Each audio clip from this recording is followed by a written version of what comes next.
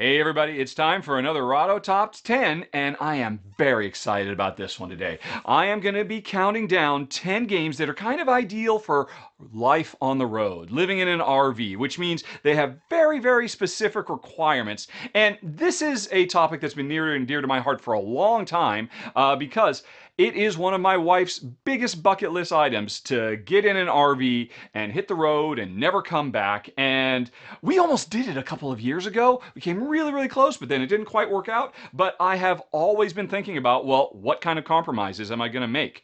And I'm going to tell you about them today, uh, my ultimate top 10 games to take on the road with us. But I am not going to be making this trip alone. Hey, everybody, say hello to Sarah Shah. Hi. And I should have pushed the button. I didn't push the button, Sarah. Oh, I'm already uh, goofing up, but that's okay. Here we go. It's Sarah Shah. I wasn't Hi. lying. Hi again. Uh, Hi. Hi, Sarah. Thank you for joining today. Sarah does her own board game um, content, and she is on every platform. Unlike me, I just pretty much live on YouTube. You're on the Instas and the ticking talking and the YouTubes and the faces with the books and all of it. And your show is called Board Games in a Minute. It is, yes. Right. Um, and that's truth in advertising. Your videos are under one minute where you just do like the most jam-packed uh, you know, super efficient explanation, um, summary, and you give a little bit of an opinion, a little mini review of games, and you're just putting them out nonstop. That's true. Yeah. Um, and why did you start it this way? I mean, what was the yeah, I actually started last April, so it's been a year. And I started when we went into lockdown because um, I found myself having some free time on my hands in the evenings, and I love board games. And I was browsing TikTok a lot, and I just wanted to make some kind of content Mhm. on TikTok about board games because I hadn't seen any. And the limit there is 59 seconds, so that's how Board Games in a Minute came to be. Yeah, yeah, yeah, Yeah. yeah. Yeah, and you do a great job. I mean, you cover so much stuff. And to be fair, occasionally you go beyond a minute. You do uh, broader topics as well, although apparently not on TikTok. Yeah, Right. I started doing that on YouTube where I've done like some list videos and even a playthrough. Yeah, Cool. And we are at your one year anniversary then. To, we are. Yes. Now I got to ask you, do you have any kind of deep-seated, um, you know, desire bucket list type thing to travel the highways and byways in an RV? I asked. Yes. You do, um, because I gave you a list of like 30 different topics. You Yeah. came back with four, and one of them was this, and no one's ever shown any interest in this topic, even though I've wanted to do it forever. And then I That's said, yeah, I know. I said, well, no, pick one of the. Any of these are great, and you chose this one, and it's because you you you yearn for the open road. I do. I mean, there's so much to see in America. I Mm-hmm. realized that there's just so much I haven't seen yet in terms of national parks, gorgeous highways, small towns.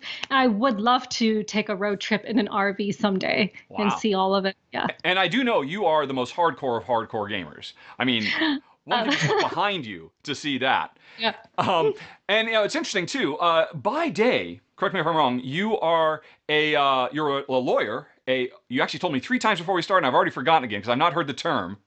Legal aid attorney. So it's nonprofit work, and we do mo- like civil litigation, all civil work and legal aid. Wow. And um, and so that is your your day job and your superhero alter identity is board games in a minute. Yeah. And you, and you secretly desire to take the show on the road. Cool. Oh my God, that would be amazing. Yeah. That, that is awesome. I mean, as we've been talking, uh, you and I are such kindred spirits on so many levels. It is absolutely amazing. Uh, this is uh, my yearly anniversary too. So, all oh kinds of wow! stuff going Happy on. anniversary! Thank you, and to you as well. Thank you. Okay, cool. Well, um, I think enough of the uh, the back and forth. The folks actually want to hear us count from ten to one, and Yeah. so if you're ready to go, I am too. I'm ready. Okay, well, I'll do mine and then we'll do yours. Neither of us have any idea what the other one's coming up with. And um, so let's start. Let me get, I get, got to get my browser back up here. I believe we're ready to go. So we're going to start with my number 10. And I should say, the way I uh, did this, let's come back over full screen for a second. The, the way I decided to break it down for me as a countdown was um, starting with, well, I, I looked at, okay, if I had to have a hardcore number 10, I could have no more than 10 in my RV because of restrictions of space, restrictions of just table space, all the rest of it. My number one is the thing I would choose if you said, oh, I can only have one. My number three is the one is the third one I'd choose if you could say I could have three. So my number ten is uh, I mean, I, I, love all these games. I want to live with them on the road, and uh, but it is the one that you know. If if you said I could only have nine, well, my number ten would not make the list. And that was a whole big preamble to tell you about my number ten, which is Ausonia. Now I don't know if you know this one. No, I don't. No, I've heard of it, but I've not played it. I okay, so you have heard of it. This is yeah. brand new. This is the newest game on my list, and I have to admit, I was thinking long and hard. I wanted to make sure I had a deck builder. Um, and I was okay, which one to do? And I almost went with paperback, which is kind of my go-to because paperback just has replay value for days and all of that. And it's a it's a really easy game to teach in case you run into anybody on the road. But um, Ausonia, my, my copy, my Kickstarter copy of Ausonia, literally just showed up a couple days ago, and I was looking through it, and I was remembering how in love Jen and I were with it when uh, I covered it on Kickstarter, and I had to go with it because this is a pure deck builder. Uh, you know, deck of cards, uh, you know, a master deck, four cards on display at any given time you can buy, and it does a lot of stuff to really separate itself from the pack. And the number one thing that really makes Ausonia special is control, which is kind of antithetical. Deck builders are all about, hey, get a bunch of cards and then see what the deck will give you and try and figure it out. This game gives you so many small little tweaks to the standard Dominion deck building formula that gives you um, the ability ability to pull off on a regular basis. Hmm. Really cool, powerful combos. You know, in Dominion, you spend a lot of time slowly building, slowly building, then hoping for those two cards to get together because that'll be amazing. This game, it just goes from zero to 50 in no time at all, and you hmm. are pulling off those combos really quickly. And even though the base game just has a relatively small number of cards, there's so much variety in the powers that these cards have. Uh, the ability to actually take cards out of your deck and make them permanent resources you can always call upon or um, you know dig through the your own draw pile or the common draw pile. And um, the game actually comes with a really nice solo campaign where you can play against a group of different solo adversaries. There is just an amazing amount of deck building goodness in this box. Um, probably even more so than. Um, than paperback, which is normally my go to. And so I did put it at number 10 because it's a little iffy for me because I've, I haven't played enough, but I think this game, I've seen some people who have gotten their copies and played it a lot for a month now, saying this is the Res Arcana of this year. And if you know Res Arcana, that's really saying something. And I, I do think Ausonia lives up to that. So it is, if I were going to be on the road for a year and I could only take one deck builder, it would be my number 10, Ausonia. Wow, that's great. So my number 10, I'm not sure if you've ever played it, is called Dice Throne. So the individual boxes are a little bit chunky, but you can take out the the game trays mm-hmm. and then um, pack those up and get a whole bunch of them and stick them in your RV. So there's a bunch of different characters that you can play and i love the custom dice for each character and they all have different abilities that you're trying to upgrade i absolutely love dice throne and i think it would be a great game for the road because it'll give you a lot of variability and depending on like what you're in the mood for you can play that different character and maybe become like a pro at the different characters that you're sure. playing i think there's like a lot of room for improvement for myself when I play this game. I've played a bunch of them now, and I still look forward to playing them again and again and trying to learn how to use the different abilities together and yeah, just try to get really good at it. I love it. Have you played it? I have played I it. assume you uh, have. I, yeah, I yeah. covered it when the most recent time it was on Kickstarter. Uh, to the uh, I forget the name of the expansion, or maybe it was a standalone, but it turned it into a cooperative adventure game.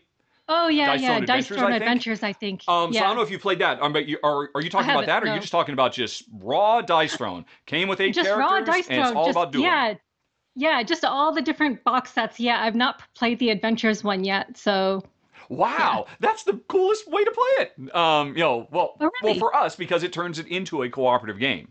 And oh, so oh, wow. I, I, assume then when you're talking about Dice Thrones, you are suggesting, hey, I'm going to take all of the Dice Throne because there's like three or four different big. I mean, and we're talking gigantic boxes. Um, oh yeah, they're behind in your RV.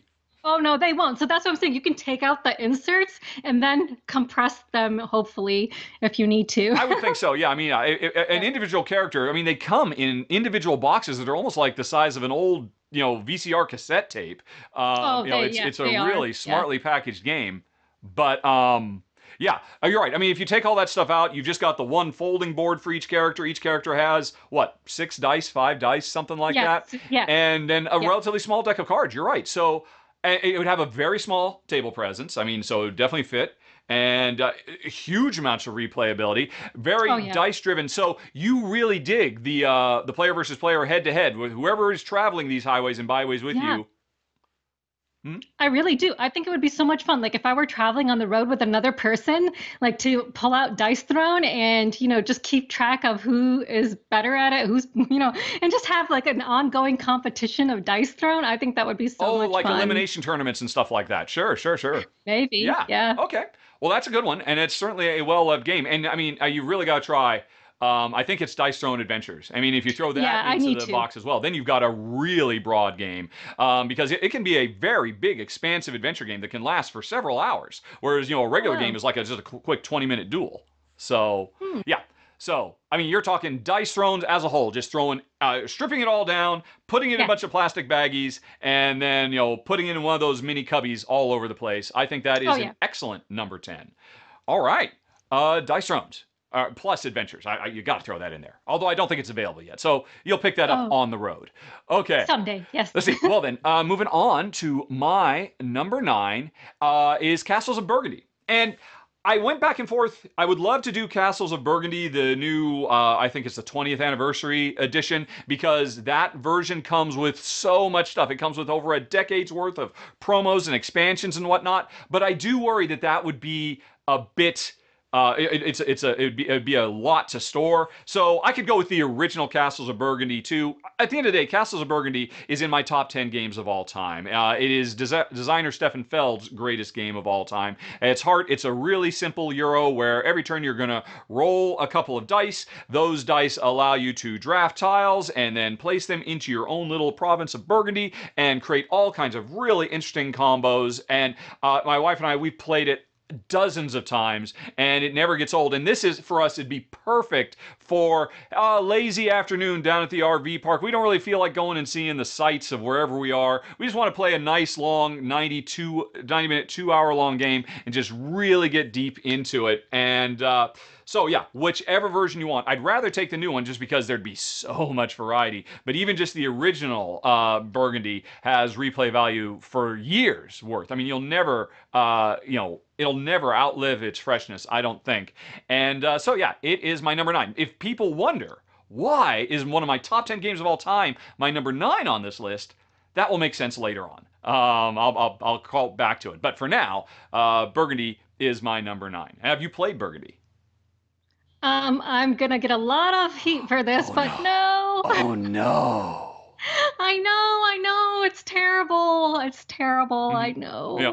Well, I mean, you. And So, so you you must know somebody who has it. Um, Oh, of course. Yeah. It's it's on my list, but you know, I, I don't know if this is a problem you have, but once you become a content creator, it's like you're you end up playing a lot of new stuff Yes. and you got to keep up with the new stuff. So, Yes. That- Yeah. and, and that is true. And yeah, this is a game that's a, a decade Yeah. old. So it's not like there's a lot of. Although, honestly, I bet you if you did a Castles of Burgundy in a minute, um, just because it is to this day so well loved, I bet you it would climb your rankings pretty high uh, or pr- pretty quickly. And I, I can't recommend it enough.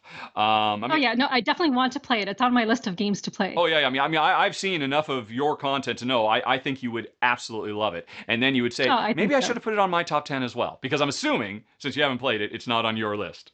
it's not. No. So my number Okay. nine is Dixit. Dixit. Because yeah, I feel like it's the perfect game to take on the road because, you know, you may have times where you're sitting around a campfire and you want to play a game that's kind of like a storytelling game with beautiful artwork. And I feel like Dixit really fits that vibe, Mhm. like of being on the road. And, you know, as you're experiencing new things on the road, you'll have like more of an imagination and be able to come up with different kinds of clues for these cards. The artwork might remind you of different things that you've experienced. So I feel like it just really fits well with being on the road. And that's why I had to include now it. Now I have to Yeah. ask you, how many people are in your RV with you? Because of course, Dixit is a three-player minimum game. Okay, so let's say there's three of us, or we're gonna meet people when we park our RV somewhere. We'll meet people and we'll, you know, befriend them and play games. You know what? them. You will. That is definitely true. Um, if you do live an RV lifestyle, you find um, you you really get a very vibrant social life. And honestly, there are few games as good as Dixit for sitting down and playing and you know getting to know people. It's a great icebreaker. Um, it really is. You know, we, we, I feel like you learn so much about people and like what kinds of things they like. Mm-hmm. Yeah, and just the way they think. Um, yeah. You know, I mean, because it is all about one player uh, chooses a card, uh, gives a clue related to it, then everybody else chooses cards from their own hands to, um, you know, try to match that, and then they're all revealed, and everybody has to ask, well, what did the clue giver mean? Which was their card? And it sounds so simple, but it hmm. so interesting and rich and deep, and there's just no way you won't laugh out loud many, many times while playing. Yeah. Yeah, I, I, I, do agree. That makes perfect sense. If I were looking for social intertwinement and interactions with people on the road, I would probably take it. Interesting, Dixit is the only game I own that does not work well for two players.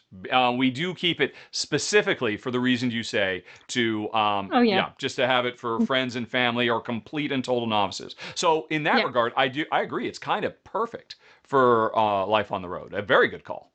I'm kind of embarrassed I didn't put anything like that oh. on my list now that I think about it. That's okay. Yeah.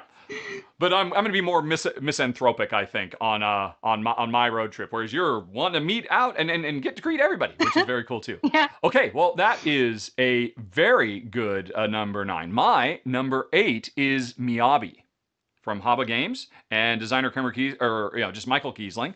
I don't know if you played this one. No, I nope. haven't. Okay. Well, um, I recommend all of these. Make room for them in your Winnebago. Um, this is a tile laying game, and I love tile laying more than just about any other gameplay mechanism there is. And this is one of the best tile layers that have come out in years.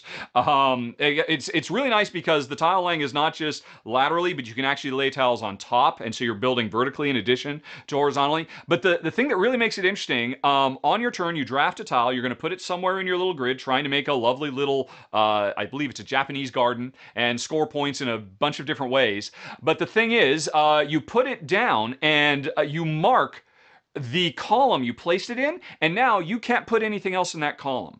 And so uh, you are, you start finding yourself just getting more and more squeezed as just a tighter and tighter noose comes around your neck, and you did it to yourself because oh, I really want to put that one over here, but I can't now because I put this other one over there. And it is a very brilliant, super simple, very, very um, elegant game that is also really really deep. And uh, one of the reasons i put this on the list i actually i ended up putting a couple of tylers because i love them so much. This one i put on because the game if i recall correctly comes with like five different variants built in. So extra little rules you can put in like a little frog that hops around from tile to tile. So it has a lot of variety and a lot of variability too. Just the core game without any of the extra stuff is almost easy enough to teach to uh, maybe this would be the game i teach with play with strangers maybe. Um, but then once you start turning on the different modules it just it just explodes with depth and crunchiness in the best way. And it's a really nice looking little game too. And uh, you toss the box, it's just a, a, bunch of little polyomino tiles that hardly takes up any space at all. I mean, for most of these games, it sounds like the what you suggested with uh, dice thrones, I think is kind of a need be. Just get, um, you know, just take all the components, put them in one big baggie, uh, and just stuff them all into a corner. And so I think it's very portable. It doesn't take up a lot of table space, which is really huge. And I am just talking about it makes me want to play it right now. It's absolutely fantastic. So my number eight is a relatively it is a new game, so I'm not sure if you've had a chance to play okay. it yet. It's Glow by Cedric oh. I have it, and I haven't played it yet. I really loved it when I played it. And the reason I chose this game is not only is it compact, so it's perfect for the road, but the board has two different modes of play. So you can flip over the board and play in like one kind of game that uses boats or the other side. Yeah, and that's the other side with um, mm-hmm. where you'll use your little adventurers and try to put down a tent in a location to try to get points. So it's a it's a set collection game where you're trying to get cards, you're drafting cards, you have these amazing dice where you're rolling the dice and you're trying to you're going to assign the dice to all the cards you have and then try to move a certain number of spaces on the board to try and get the glow points that you need in order to win this game. So I love everything that's going on in this game and it is definitely like an adult spin on a roll to move game because the oh. dice you're using, you're first using them on the cards before you're then placing them on the board in order to move. So uh-huh. you're you're using your dice for two different things, and so you have to be kind of strategic about you know which dice you're going to choose you know, to keep or whether you're going to choose to re-roll them. And another thing about this game is you can collect fireflies, which I think is so cute and goes perfectly with the whole on the road theme. You know, Okay. fireflies. Sure. Yeah.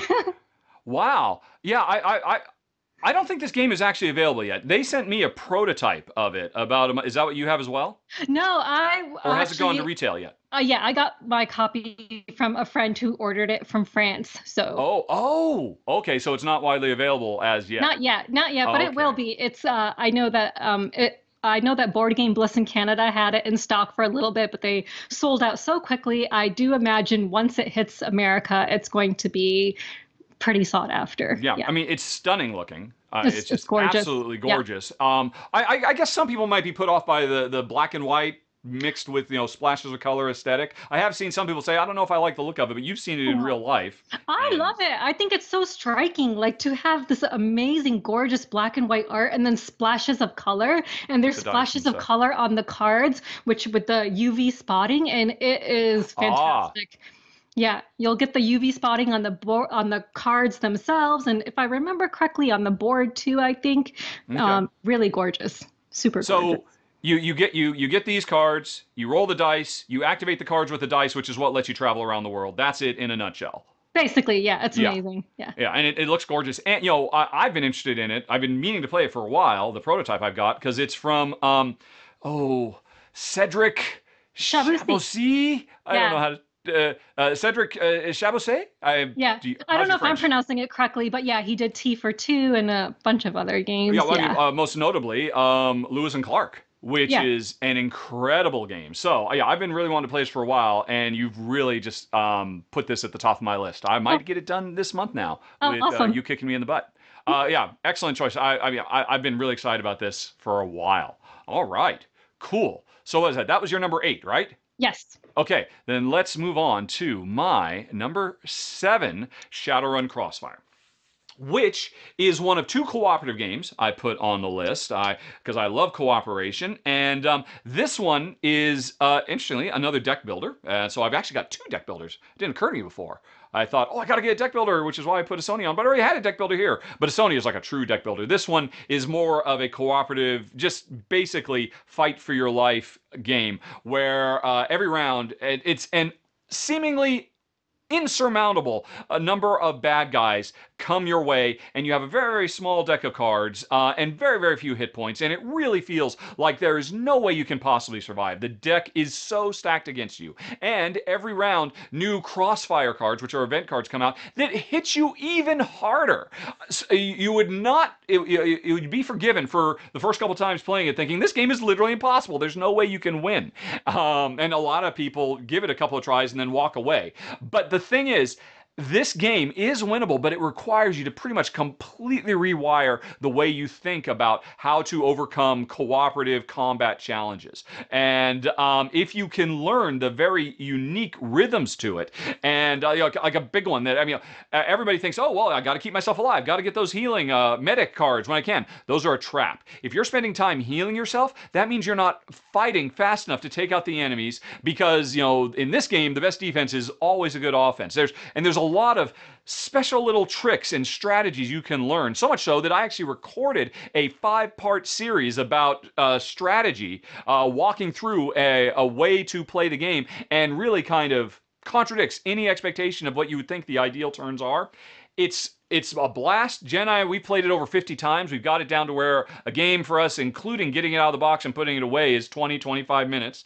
And um, and another nice thing about it too is there is kind of a meta game to it because every time you play, provided you don't get completely wiped out, you can earn um, karma points, which are basically experience points. And over time, you can spend those experience points to literally upgrade your characters with stickers. So it's kind of a little bit of a legacy game, although you don't have to use stickers if you don't want. You can just write down on a post it note what upgrades you've gotten.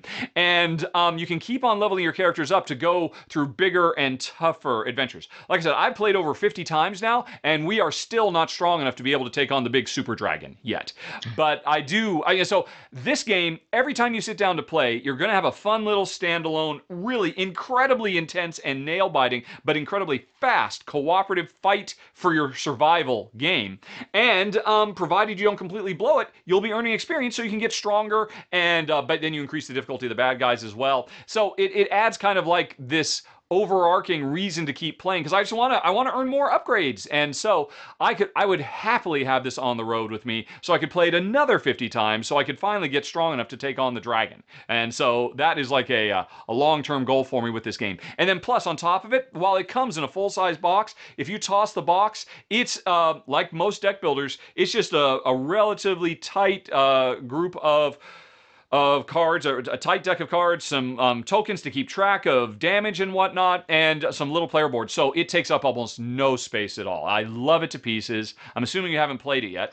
No, that but it sounds amazing. I mean, if you've played it at least 50 times, it seems like a game I have to play. Oh, well, yeah, I, as you're talking about, if you're a content creator like us, you don't get a lot of chance to go back and play games over and over again. My wife and I, we made the time for this because we love it that much. It is actually literally my number two game on my top 100 of all time. I love it that much.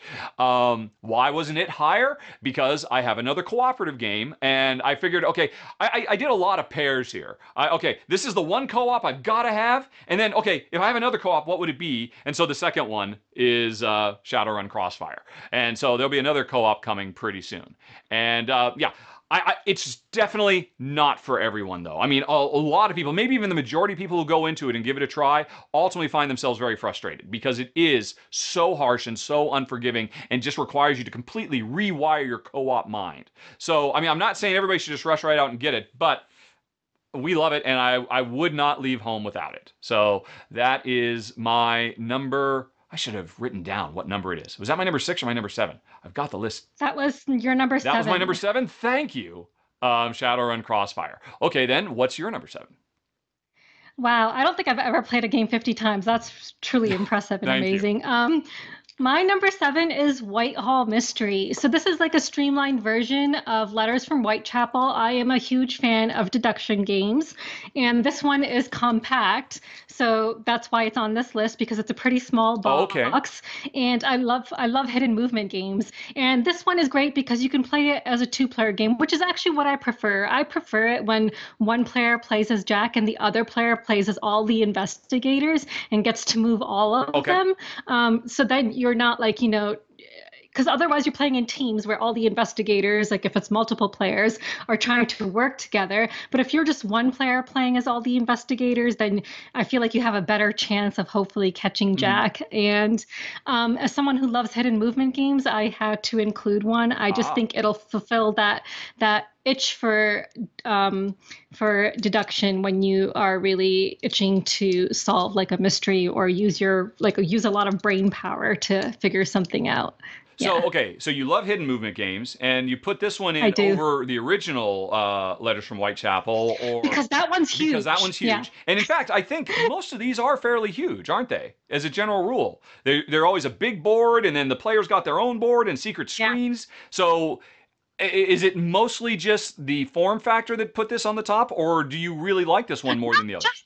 not just the form factor. Actually, when I bought this one, it actually um, replaced Letters really? from Whitechapel for me because it is streamlined. It does away with some like fiddly rules that I didn't think were necessary in the original. So um, I haven't actually even picked up the original since I bought uh, Whitehall Mystery. Oh wow! Okay, yeah. so it's time to jettison that one then.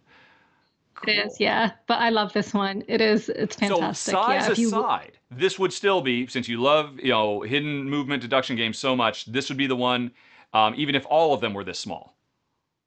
Yes, wow. for sure. okay. sure. Well, there yeah. you go then. I have to admit, I haven't played it, nor have we played the original Whitechapel. A couple of reasons. One, um, I, unlike you, I have a real problem with, say, Fury of Dracula having to control four characters worth of stuff. Um, you know, I mean, mm-hmm. personally, I would rather, and you know, there are some games that have uh, done a much better job about that. Um, and then as well, my wife just uh, she will refuse to play this for the same reason she'll never play Mr. Jack because she doesn't want to play a game where she has to be you know, a serial murderer. And so the, the theme just hits too hard uh, for home for her. I mean, I guess you're cool with that. You just kind of put that aside. Look, I'm just running around hiding from stuff. I yeah, I can put it aside also because it's so far back in history. I feel like, um, and since there is like an element of kind of uh, a mystery to who uh, Jack the Ripper was. Um, it's kind of like I know it's it's real. I know it's real history, but it's also kind kind of like a mythological kind almost, of thing. Almost. Yeah, yeah. I mean, it, it's it's yeah. it's gone into lore and and legend as exactly. Well. That is yeah. true. And apparently, if you do have a problem with that, you can be like this person on Board Game Geek who basically rethemed it to be Inspector Gadget. So oh, wow. I, I, guess that's a that's possibility. Amazing. Um, cool. All right. Yeah. Yeah. I mean, that is, yeah. Um, are we going to have any overlaps? I wonder. I don't I, think you, you so. think? I mean, I mean, yeah. So you know me well enough to know that it's probably Yeah. not going to happen. Well, I, I, I, my hope springs eternal for me, so I'll, I'll keep going on it. So let's move on to my number six. This might be one where we have overlap. I think. I mean, this one's a crowd pleaser. My number six is on tour. You on tour? Have you played on tour? I've played the digital version. I have not played the actual Okay, board game version okay, of that's it. good. Yeah. Now, I, I wanted to have at least one roll and write on uh, in the RV as well because Jen, I really enjoy that quite a bit. And um, on tour was the one. It's not necessarily. It might be my favorite roll and write of all time. It's certainly in my top three. But um, the fact that it does not actually use a uh, you know a pad of paper. It's uh, you know it's got dry erase marker board, so you can just keep reusing it.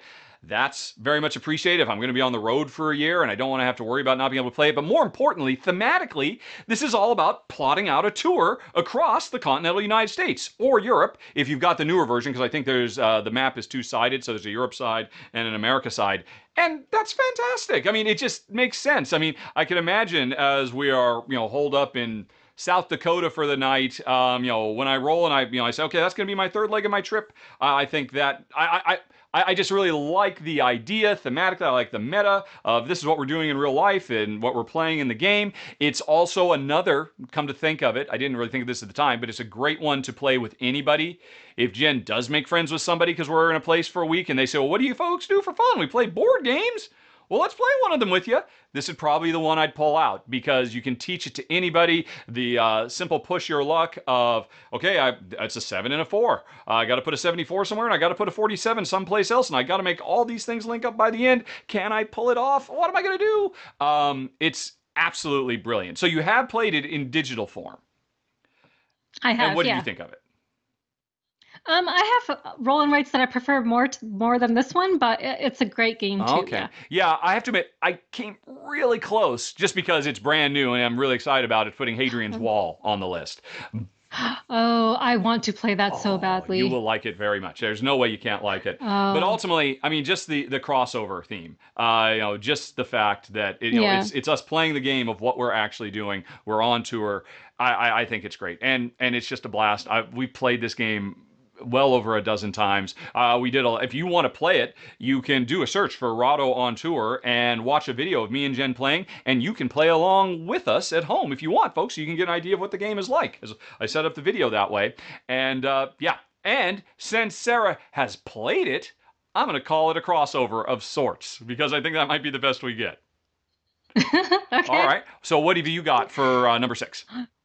So my number six is um, also a new game, which I'm not sure is available in America Uh-huh. yet, and it's by the same designer called Shamans. Have you heard of Oh, it? No. Shamans?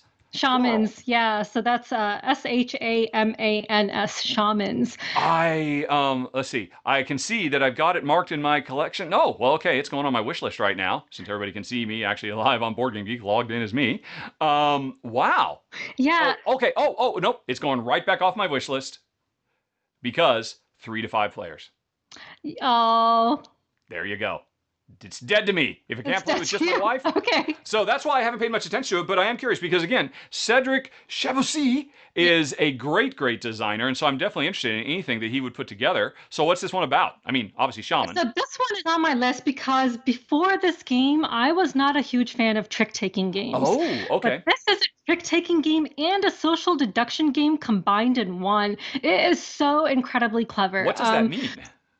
Yeah, so you are going to be assigned identities first um, as either the light or the dark. I can't remember exactly what they were called. So you'll have the light characters and then the dark characters. Okay. And the light ones are trying to get, um, you know, avoid the moon reaching the end of the moon track. Um, and the dark players want it to reach the end of the moon track. Okay. And you have these cards in your hand and you have different suits and each time each time there's a turn someone is going to be the leader of that turn and they'll be the first one to place a card and then other players will need to place a card and if you are on the good side you will want to place cards that are of the same suit so that the moon tracker doesn't go up the track but if you are a bad guy you're going to want to play a different card which may even trigger some abilities so there's different tokens you can earn Okay. and you can try to kill off other players. There's Jeez. yeah, so it's it's it's a little more than your usual trick taking Uh-huh. game. And with that social deduction element as well, it becomes so interesting. Like because you're I- actually trying to hide whether you are for good or darkness. well, if you're for darkness, you definitely want to hide that you're for darkness. Why? Yeah. Because the the good players have Because the opportunity other to knock you out. have an oppor- yeah, they could they could find an opportunity to kill you at some point in the game. Okay. Yeah. So you are But it's multiple. You're playing multiple times, so it's a point game in the end. Mhm. So that's another amazing thing about it. So you're collecting points, and the first person I think to reach eight points is the one who will win. So in that way, it's kind of also semi-cooperative because if you're a good guy in the game you're playing, you obviously want to win and get those points as the good guys.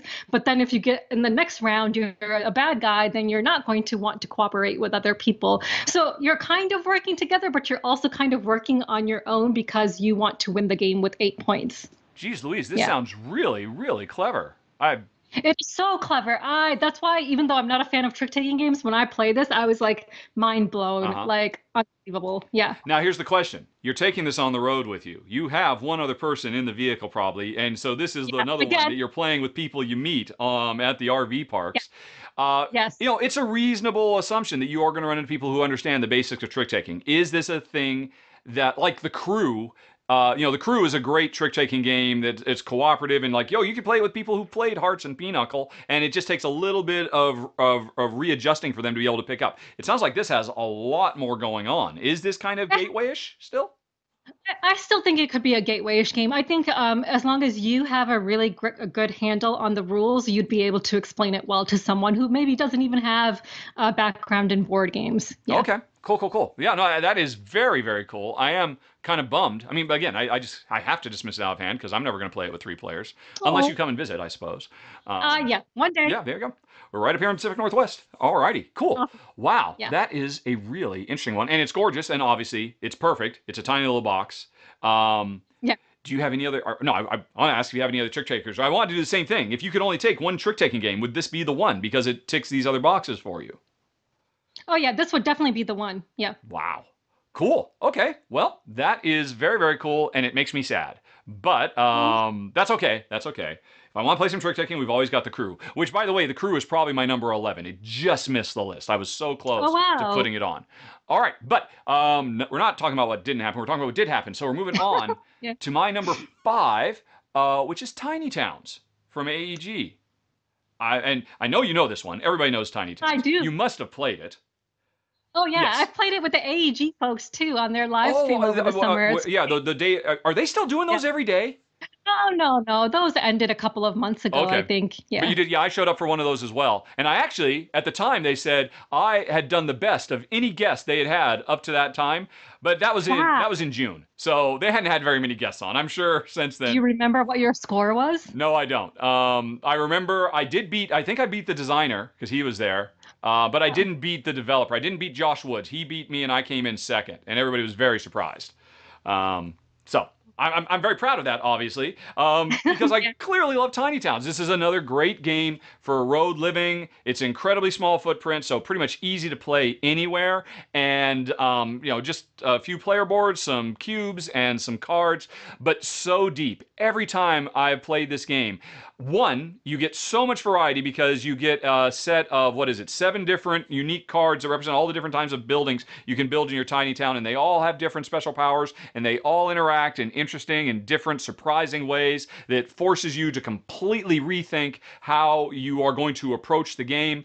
And um, with multiple different modes of play, there's the bingo style version, which um, I think is the way Jen prefers to play um, because when she plays with me, I do tend to, you know, either players can pick for themselves when it's they're the lead. Hey, this is what everybody builds in their town. You're going to build some stone or some glass or some wood, and I could pick stuff that I need, but I also try to pick stuff that I know does you no good because if I can anticipate what you're trying to build, I can really slow you down. Um, and so I have found when playing the standard version, I do tend to be a little not care bearish, quite frankly. I do push as hard as I can, which is why I think ultimately for us, the hey, look, it's just we draw cards and that tells us what everybody gets to build uh, is probably the better way to go. Um, I think this is another good gateway game. There are certain combinations of cards that are really simple, so I could teach this to the folks on the side of the road. But I can't imagine getting tired of playing this game just because Jen and I enjoy it so much. Uh, there's exp- there's one expansion's already come out. I think another one is about to come out, or maybe it's come out as well. And even with the additional stuff, it's still going to be an incredibly tight little package. And uh, yeah, I could play it for days. So you like? I mean, you do like tiny towns, right? I do. I love tiny towns. Yeah. Okay. Well, then don't say any more. We'll find out if you liked it enough to maybe, maybe, if we get lucky, have one true crossover. But what's your number four? Uh, number five. Oh, yes, thank you. Number five. I can count. There's my first goof of the show. My number five is Fort. So just like you, I wanted a deck builder on my list, and I think Fort is perfect for RV life because it is such a compact box, and the theme I think goes really well with uh, RV life. Like Yes. you know, your kids in a park, you're building a fort, you're building like a treehouse or whatever, and yeah, it's got adorable artwork, and but it's really clever, and it's really like you have that yard where you're gonna discard put cards that you didn't use um, that other players can then steal from you. You know, you've got adorable little pizza tokens, and yeah, I just absolutely love this deck builder. Um, you can store items in your backpack, which can help you when you're playing. It's a really great little deck builder, and I, I absolutely adore it. Yeah. Um, uh, uh, one thing I'm curious about, I, I know a lot about the game. In fact, actually, I just got a copy. It just showed up the other day, so I'm really looking forward to trying it. One thing I'm curious, how much variety is there in the cards themselves and, you know, and the effects of what they do? I think there's a fair bit of a variety. So when I've played it, you know, I've played it a couple of times, and each time I've played it, I feel like I've had a completely different experience. Depending on which hand of cards I get, you know, I might try going for a different kind of strategy of which suit I'm trying to really uh, establish in my deck. And you know, um, I, you know, I always preface everything by saying I'm not the best board game player. I tend to lose most games I play. Uh-huh. So maybe you don't want to listen to anything I'm saying, Mhm. but I think that there's variety and I think, you know, it's definitely got replayability value, like a lot of it. Wow. Yeah. Yeah. Uh, yeah, I mean, I, I love the art. I love the gameplay. Um, I, I had a special guest on last month, Tim Chewin, who did a quick rundown for it, and I fell even more in love with it. And I'm very excited that it just showed up in the mail the other day. And who knows, if we'd done this a year from now or even a month from now, I might have put it on my list too, because I do love everything about Yeah, and I just feel like if you're on the road, you got to have a game with Kyle Ferrin's artwork on it. Like I Sure. am in love with his artwork. It's absolutely stunning. Yeah. Yeah. Uh, I'm curious. So you played it a fair bit. You know it. I, uh, obviously, from what you've talked about before, you you are no stranger to the uh, the punch 'em ups. You're you're not quite as care bear as me, but. I, I had kind of ignored it first because everybody said, oh, this is a really mean spirited game. But I don't really get the impression that it is. Because it's, yes, you can take my cards, but only if I choose not to use them, right? Yeah, exactly. But you know, people might say it's mean spirited because there's going to be ch- times when you want to use a card, but you can't use all of the cards that you're that are in your hand. So you will have to make those difficult decisions of which cards to put in your yard. So even though you've put it in your yard, it still can be a bit mean spirited when someone takes a really good card from you because you just didn't have the opportunity to use it at that time. Yep. Yeah. Yep. All right. Well, cool. Yeah. Uh, yeah. I, it, it's it's you know it was super popular. I think it was sold out for quite a while. Um, Oh, yeah. Yeah. I mean, and hard to get. It took me a while to get a copy, and I'm looking forward to playing it. And it's obviously a very very good choice. I'm sure a lot of people will agree this is a perfect one. So that was your number five. Um, Fort. Yes. Good call. All right. Here's my number four. It is my other tile laying game because I did a lot of pairs here. Um, it is Isle of Cats. I, I, now that's a huge box. It is a huge box. It is a ridiculously oversized, overstuffed box, and it doesn't need to be. Um, I mean, if if you take out, especially if you're only looking at it as a two-player game, um, you know, I mean, you just need the boards, you just need the cards, you just need the uh, the the polyomino pieces. You yes, there's a lot of really nice, cool-looking cat meeples and stuff like that, but you don't need all that stuff. And the reason I, I had to put on my list is one, I love tile laying. So I mentioned earlier, um, Miyabi was my number two choice for a tile laying game, but Isle of Cats was my number one. But another reason I love Isle of Cats so much is because it's also a really brilliant card drafting game. And I really wanted to have a card drafter as well.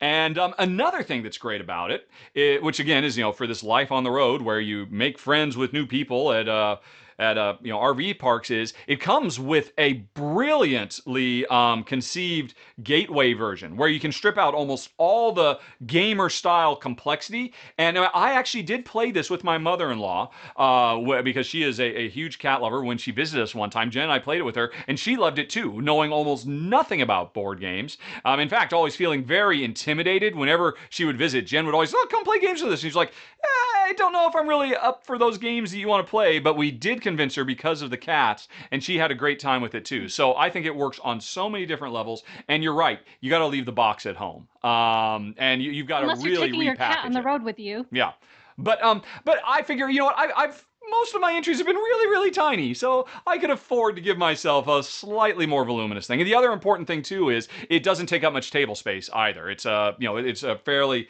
uh, compact game with everybody working on their own um, little ships trying to rescue cats from the Isle of Cats. So you like it, but you wouldn't have considered it because of the uh, form factor. Box size. Yep. Yeah. So you know that was one I but actually you, thought you, about. Your dice throne. Talk about box size. That's true. Yep, yep, yep, yep, yeah, that is true. Yep. That is a very good point. The defense rests, Um, Your but yeah- Honor. Yes, I think you win this case. yeah. So my number four is actually a, also a tile laying game, Oh, okay. and I think you'll love this one because it's a two-player tile Yeah, yeah. laying game. Curious Cargo. Oh boy, yes. Um, Have you played Yes, I have. I have filmed it. I'm going to pull my video up. Cargo. Let's see here if I can spell it. This is a brilliant design, definitely. It is so brilliant, and you know, it's perfect for being on the road. It is such a small, compact game, and you're putting your boards back to back, and there's so much replayability. So basically, you're trying to connect pipes so that you can load cargo onto these trucks and then get those trucks to your opponent's side, and they're going to try and co- connect pipes so that they can unload that cargo and put it in back into their factory. Um, it is very crunchy, though. It is super difficult. Like I know that there's uh, different boards with different uh, dif- difficulty levels, and Yeah. I'm still like the beginner ones, and I still am terrible at it, but I love it. It's like such a brain burner. It is such a brain burner, but it is so good with so much replayability. Yeah. It is. I, I agree with every single thing you said. Um, our problem with it was because ultimately we didn't keep it. I thought it was absolutely brilliant. Oh. Um, a couple things. The complexity that is in this game. I mean, this uh, has pr- potential for analysis paralysis It does, yeah. to an extreme. And my wife definitely, I mean, this triggers her AP um, in such a big way. In a, um, you know, and, and I, you know, in at, at home I don't mind so much, but on the road, oh, if her saying, you know what, why don't you come back in ten minutes? I got a lot to think about here. I, I, I don't think that's going to necessarily work as well. Maybe it will. Maybe it'll work better because Yeah. I can just leave the RV and go. Uh, Make, For a walk. yeah, yeah, or- and go check out the Grand Canyon or something like that. But I mean, it's Yeah. it was so crunchy because there are so many different ways you could use those pipes, trying to puzzle them together. I mean, it's really, really deep. Um, but the other thing is, we found the more we played it that it can be. It, it, there's no direct aggression. It's not like I can, you know, explode your pipes or destroy your factory or anything like that. But I can definitely make because the brilliant thing, the interaction of the game is I if I eventually get my truck loaded up with stuff and it starts driving, it drives to your factory where um, you have the opportunity to kind of mess with my ability to uh, well actually well one it drives to your factory. You have the opportunity to kind of intercept it and offload so you can get points but you also have the opportunity i haven't played it again for a while now to really kind of mess with the flow. Um, oh that's what it was. Yes because I've got my path that my trucks want to travel, um, you know, as Yeah. they get loaded. But instead of me putting my trucks to try and make everything work, I can send my trucks to your side. And so, oh, I, I see Yes. you've got it perfectly. You've got all the spaghetti worked out, and that truck is going to load every single bay perfectly. And you know what? I'm just going to throw a little one in there just so it's all a little offset and it doesn't work. And um, Yeah. the first time I did that to Jen, Jen said, Ugh. And I felt terrible doing it, but it was just the right thing to do. Um, so Yeah. ultimately, the interaction it can be really positive, and I love that. I love the idea of hey, this should be all about me just trying to um, intercept what you're sending my way, but I can also just mess with what you're trying to build in the first place. Again, kind of indirectly, um, kept it off of our list. But again, a brilliant design, definitely smart. So brilliant. Yeah. And but super like, yeah, it will definitely trigger AP in people. Yes, yeah, definitely. I mean, I don't know how long does it take you to play this game. I mean, it is it should be just a quick little 15 20 minute game, but that was not our oh experience. no. It's no no Yeah, no no, exactly. no. When I've played it, it's been much longer than Yep, that. yep, Yeah. yep. Yeah, but a, a really good call. Very good call. That was your number Yeah. four. Okay, then let's move on to my number three Manhattan Project Energy Empire. Which is a worker placement game, um, all about um, you know trying to meet the power needs of the world, trying wherever possible to do it in a green way. Um, but hey, you know what? You can actually be really successful if you uh, you know uh, dabble in dirty uh, you know uh, technologies for generating energy as well. Worker placement games, we played a lot. We tend not to get too terribly excited about them, but this one is really special because one of the main things you're doing is building different um, buildings that are associated with, I think it's government, industry, and there's a third branch, uh, a third color. And the thing is, if I built a bunch of government buildings, I then want to do worker placement in the government zone, which limits what actually I can have, because that means I can activate every for every worker place I send to the government section of the board, I could potentially activate all of my government buildings. And so it's an engine building game where you can pull off really big, deep, rich combos, and it's one of the most satisfying games I've ever played. And um, when I mentioned earlier that you know uh, what's it uh, Castles of Burgundy, which is one of my favorite games of all time, came in relatively high. It's because I had this one lower. Originally, I was going to put Castles of Burgundy down, um, you know, close to the top. Because what is this? This was my number four. No, this is my number three. So I'm saying if you gave me three games, one of them would be this one, and that's really saying something. And um, it's there, there's several things that really give this game longevity because in evaluating these i'm trying to think of you know if i'm going to be on the road for a year or two i'm going to play this game so much. And the uh, one of the cool things about this game is there are event cards. I think the game comes with 15, and every time you're going to reveal six of them, and they actually tell a story over like 200 years of society developing, and um, you know whether there's going to be you know famines or nuclear disaster, um, you know late in the game, and whether there's going to be really great opportunities early in the game. It changes up the way you play because all kinds of different opportunities uh, to avoid or to take advantage of will come up in different combinations every time you play, but it always does create a story. This has a it, it- it's this isn't like an Alexander Pfister game like Maracaibo or Newdale that actually has real written story, but it kind of feels like a story evolves naturally because of the way they did the uh, the um what do you call them the the event cards. And that really elevates this so much um that i i would i can just imagine wanting to play this game over and over and over again and seeing all these different kinds of combinations. And then on top of that um an incredibly satisfying worker placement game as well. So that's why manhattan project energy empire comes in at number three. Are you familiar with it I'm familiar with it and it's on my wish list of games to play. I haven't had a chance yet. You should. You will Yeah. not regret it. Um, also, it's uh, you know, again, leave the box at home. The board itself is fairly small. The player boards are fairly small. So, I mean, I think it would fit on an RV table just fine. So that was another thing I considered as well. Why some of my other really favorite Euros didn't quite make it on the list, but this one, I think it'll fit. And I, I can imagine playing this game 50 times a year without breaking a sweat easily, just because of the variety. And it's just, it just feels so good to play. But anyway, that was my number three. What have you got? My number three, I think, is like probably the most perfect game you can imagine taking Okay. with you on the road. Parks. Ah, sure, sure, sure, sure. Uh, Yeah. So Parks is a worker placement game, and you know you're basically visiting all the national parks in America, Indeed, and yes. the you know it's just stunning to the artwork of, of, all the different parks is just beautiful but i just actually really enjoy this game. I would say it's like an entry level worker placement game but mm-hmm. if you're on the road and you're visiting parks while you're on the road i think you should definitely have parks with you. And yes. then when you play it you know it'll bring back memories of the various places you visited and then it might give you ideas of where to go next. So yeah i think in terms of uh, packing a worker placement game parks just seemed like the natural choice for an rv uh, yeah, it's like, it was like me putting on tour on the list because it's yeah. about being on tour, and this one is about one of the reasons you're on the road. That makes perfect sense. Yeah. And it is a really sharp design, super popular. Let me ask you, how do you find it as a two-player game? Because when Jen and I played it, we thought, boy, you really should have three players to play this game. Um, I definitely enjoy it at more than two players, but I don't mind it at two players. Okay, I've played okay. it. Uh, I've played it at two players a number of times, and I've still enjoyed my plays of it. Really? Okay. Yeah. Yeah. Cool. That is good to know. I will bear that in mind. It's it's absolutely gorgeous and it's really clever. Yeah. Um, yeah. And so you dig it at two, but at this point, I'm thinking you have at least two other people in your RV with you. Uh, yeah, yeah. It's gonna it's gonna be a big RV. there you go. Yes, yes. Everybody's coming. Uh, on the trip. But yeah, a good call and a very, very popular game. Super well mm-hmm. loved this game. I really should cover it. Uh, it's just that I mean, I, I, we just didn't find as a two player game that it was quite as strong but again, you would disagree, or you think you you you think it's okay at two.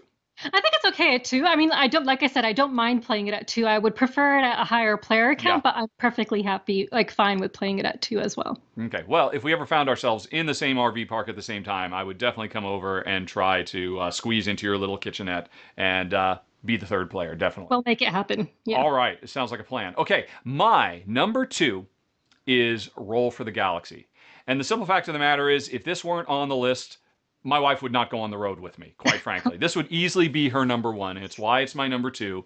Uh, it's a brilliant, brilliant game all about building a intergalactic uh, space empire by rolling all these really cool special dice, uh, deploying them in secret. It's kind of, let's see, I was going to say worker placement game, but no, it's not really because you're just you're you're you roll all these dice and in secret you decide what am I going to use them for, and um, it's very much bo- born of Race for the Galaxy. So you can explore the galaxy to find more planets, you can develop the planets or new technologies, you can have your planets develop goods that you could then trade to get more resources to start that whole sequence all over again. And it is just infinitely replayable. With, even just in the base game with the number of tiles that come i mean this is another one that jen and i have played dozens and dozens of times. We've got it down to where we can finish a game of this in under 20 minutes. It's practically a filler for us whereas most people i think go for 40 minutes because we know it so well. But um, it's incredibly rich thinky, crunchy. This is not a good game to take on the road if you're trying to teach people at an RV park because it's uh, it's a very obtuse and dense game. It's tough to learn, uh, particularly it's tough to teach because everybody makes their moves in secret behind a shield and then you reveal. So it's kind of hard to teach new players how to work through their turns. But uh, we absolutely love it. And like I said, um, uh, if it were if Jen were making this list, it would be her number one. So I had to make it my number two. I, I assume you are familiar with it. I'm familiar with it. Yeah. Yes. Yes. Yes. But once again, we do not, from the familiarity, we've missed another crossover. I was hoping maybe. Like but, I said, uh, I really don't think we're going to have any crossovers. we're getting towards the end. yes, I know. It's, it's, it's almost upon us. You broke my heart. And I know what my final is, and there's no way you picked it. So, uh, what's your number two? It's our last chance. My number two is A Fistful of Meeples. Ooh, nice. Yeah. So, one of my favorite games is Five Tribes, um, which has like the whole Mancala yes. um, thing where you pick up meeples and you drop them off. So, A Fistful of Meeples is like that as well. You're picking up meeples and you're dropping them off at these various locations on the board and then taking actions. And it's also a worker placement game. So depending on where you drop off the meeples, you'll perform a different action at each location mm-hmm. where you're trying to collect, you know, money and you're trying to get these gold bars for points. You're trying to get money so you can upgrade your buildings, the marquee tiles, because you claim buildings. It's a really fun game. And there's even like, you know, duels that you can take place, take part in. There's a graveyard where people will get sent to once they, you know, don't survive the duel. Yeah. You know, there's, it's a really fun game, but it's, you know, some people would say it's a filler game, yes. but it is a very thinky filler game. Like it is thinky. It's not just you know mindless fun. It's thinky fun, and I really love it. I agree. Yeah. I, um, yeah. Uh, what's the designer? Johnny Pac. Which what's his Johnny real Pac? Name? Yeah. John. Jonathan Pac Cantin? Jonathan Yeah. Pac Catton, or we'll just stick with Johnny Yeah. Pac. I mean, he had such a Johnny great Pac. year. What was it, two years ago? This and Coloma and Sierra West all came out. They were all fantastic games. Yeah. And um, yeah, th- this is a blast. It's you're right. It's just a wonderful little Mancala. Pick them up, drop them off, activate the last building. Very thematic. And Very thematic. Another great game to take out with you when you're going out west. oh Like, yes, if- very much so. yeah. Definitely, definitely. Yep. Yeah. Okay, good call. Well, that was our last shot.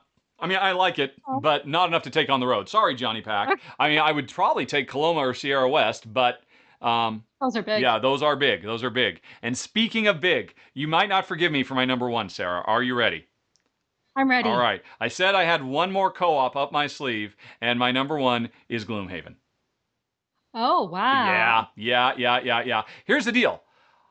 I love Gloomhaven so much. It's my number three game of all time. And um, if there was only one game I could have that we were just going to play, you know, re- repeatedly, obsessively over the course of, let's say, three months or six months or a couple of years on the road, this is the one I'd want to take. But I dismissed it out of hand because, of course, it's got one of the biggest boxes in the industry. Obviously. And that's not going to work in RV living. And even putting that aside, when you set the whole game up, it's ginormous. There's no way you're going to fit it on a little RV table. So why is it on my list? Why am I cheating?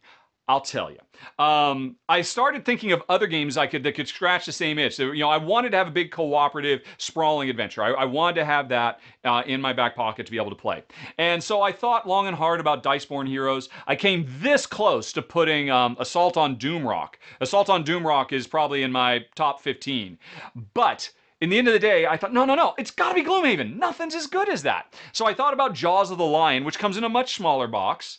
And that's, that's a lot more reasonable. It doesn't take up as much space because you uh, all the maps are in a book. But there's only four characters, and that's not Gloomhaven. I mean, I want I want the hundred plus missions, especially more if you download all the stuff that's online.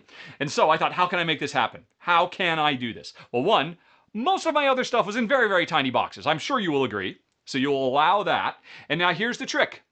I went and I got out my box of Gloomhaven. I did some surgery on it. And if you only get out the player boards and um, the, uh, what do you call it, the standees for the for the monsters and the tokens for treasure chests and traps and stuff like that if that's all you bring the game gets it doesn't quite get down to ticket to ride size box but only a little bit bigger than that and so, how can you play the game if you leave out all the player boards and the monster boards and stuff like that? And so, I spent an hour last night playing around with Gloomhaven Helper, which is an app you can install on your phone or on a laptop, and um, it takes care of everything else. Um, if you're looking at the screen, half of what is on the screen right now would exist on my laptop monitor. Um, all the information, all the cards you draw, all the things to keep track of player states. We wouldn't even be bothered bringing the miniatures. We would just use dice from some other game to represent us walking around in the dungeon. And um, so I am really bending over backwards to make this fit. I'm doing everything I can to squeeze, squeeze, squeeze. But if you're just look, if you're just putting, I have a, I have a very tiny laptop. It's a Lenovo Yoga. Uh, so it's a tiny laptop that would sit that keeps track of all the bookkeeping, and that's 50% of everything that's on the table. And it's just the board that we're walking around and the miniatures. I believe it would fit, and I believe it's worth making the room to put on my number one, uh, my third favorite game of all time. I would not want to leave home without it, Gloomhaven. And um, I, I appreciate. I do not have much defense. If you would like to cross-examine now. no, I will allow. Okay. I will allow. Excellent. you did. You you did have dice thrones, but still. That's true. I- I- no, I feel I feel like you've you know you've made a lot of effort to bring it. You've justified how you're able to do it. I I would allow it. Yeah. Thank you. That's, that's, that's, that's very gracious of you. Um, I felt kind of bad reading you the riot act about dice thrones, knowing that this was coming up as my number one, but you were much more gracious than me. Thank you very much. That is true. right. so yeah, you're right. No crossovers on our Nope. list. All right. What is your number Mine- one? My number one is Fleet the Dice Game. Ooh, nice. Obviously, I had to have a roll and write, and Fleet the Dice Game is my favorite roll and Okay. write. It is a very strategic roll and write. And you made a comment earlier about um, dry erase markers. Yeah. So whenever I have roll and writes, I always laminate the sheets and I use wet erase There markers. So I would be doing that before hitting the road, which I've already done with Fleet the Dice Game anyway. Okay. Yeah, and I love this one. It's one of those games where it's very combo-tastic, where you're Mhm. trying to like, you know, fish for different types of fish, and you're going into the wharf and doing different activities there as well. So you're using dice, you know, to try to make these amazing combos to get the most out of it. And in addition to all of that, it has an amazing solo mode. I've played it solo several times, and the solo mode is really good, actually. It is very good as well. And the dice are absolutely stunning. I love the Mhm. dice. I love the theme. I think it's another perfect thematic, like strategic game for the road. I, it's an excellent choice, and now I am so curious to find out what will happen when you eventually play Hadrian's Wall. Oh my God, I really need to. Yeah. I really want Because I mean, a Fleet the Dice game is a brilliant game, and for quite a while, it was like the high watermark of uh, roll and write depth and complexity. It was the the heaviest hitter on the block. Um, but then, since we've had like Rome & Roll, that one's probably heavier. And uh, but now Hadrian's Wall, Hadrian's Wall is in some ways. Um, you know, when, when I when I did a video for it, I said this is kind of like Ganz Schön Clever taken to an eleven. But really, I would have been better off saying it's like Fleet the dice game taken to an 11. Everything you love about Fleet, um, but then, you know, triple the amount of combos and options. So I wonder, but still, this is a, a fantastic one too. And also, I would say it's much more approachable.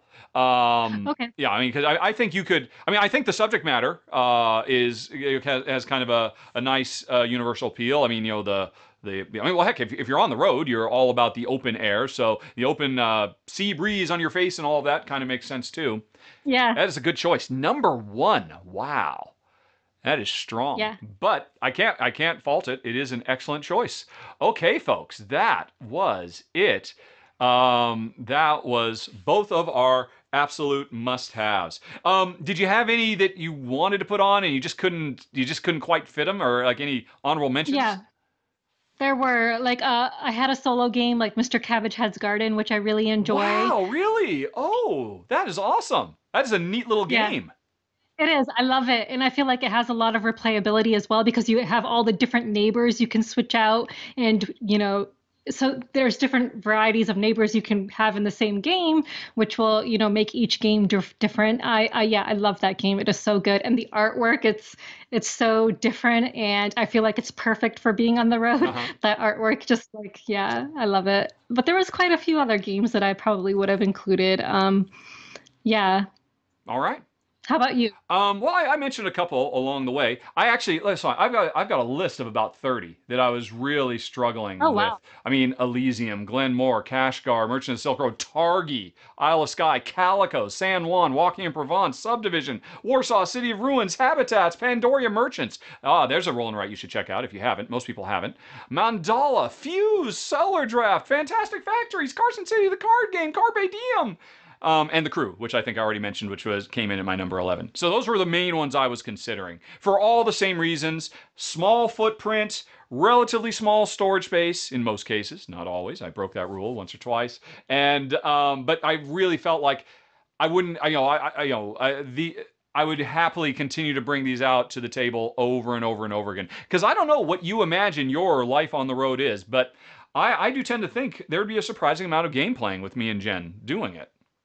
Oh yeah. Yeah. Like board games are such a big part of my life. I'd have to play board games while on the road. Yeah. Yep. Yeah. Well, like I said right up front, the uh, the legal defense is that's just your day job. That's just to feed the board game habit. It is. It's true. and it's too bad you just didn't go with like the high, superpowered executive lawyer, so you could uh, feed your habit a little bit more readily, um, rather But than. then just- I wouldn't have time for the habit, That's a right? good If I point, were yes. some high-powered, yeah. How do you have time anyway? You have to save all those people that are being evicted and whatnot because that's the kind of stuff you do. Man, that is, that is amazing. You are a superstar. Um, Oh, thank you. yeah.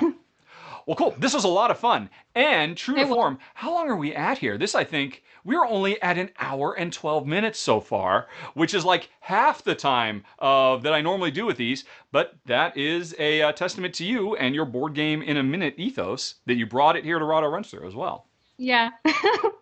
It's true. Well, cool. All right. Well, um, folks, uh, if you want to check out Sarah, all of her links for all of the socials are um, down in the show notes. I'll put something, probably her YouTube channel, up there. You can hit that eye. And uh, so you can keep an eye out for what Sarah has coming in the future. She just uh, celebrated her one year anniversary, and I suspect she has very exciting stuff coming in the future. Thank you. Right. I hope so. Well, cool. Then that is it, folks. Thanks very much for watching. Have a very nice day. Talk to you later. So long and bye bye. And boom. Alrighty, I will stop recording now.